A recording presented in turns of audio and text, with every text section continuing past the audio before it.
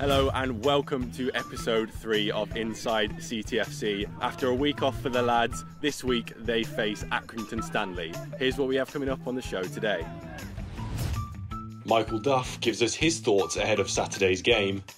All the highlights from an entertaining under 18s FA Youth Alliance Cup clash against Wimbledon, plus an interview with under 18s boss Pete Haynes, and we take an in depth look at this week's opponents, Accrington Stanley.